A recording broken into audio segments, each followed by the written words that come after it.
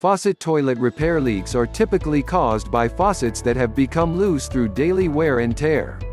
Often, a simple tightening of a packing nut or the addition of a new O-ring can stop a leak that is coming from the faucet handle. Sometimes a sealant fails, requiring a replacement on an inlet or outlet.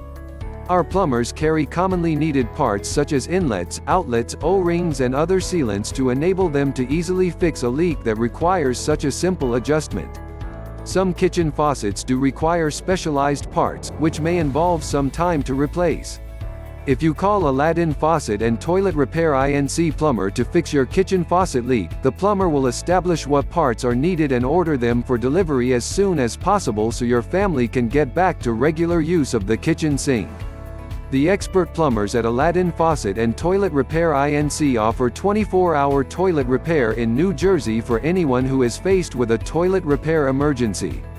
We are a fully insured, licensed and bonded plumbing company providing customers with amazing service at an astonishingly affordable price.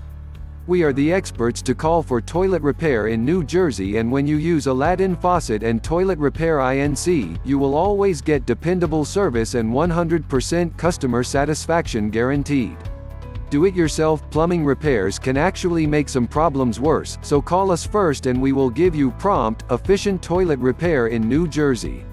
For more information please visit our website, www.aladdinplumbingnj.com or contact us through phone, 201-464-5369 You can visit our office, 124 1st Street, Suite 440C Jersey City, New Jersey, 07302 Faucet Toilet Repair.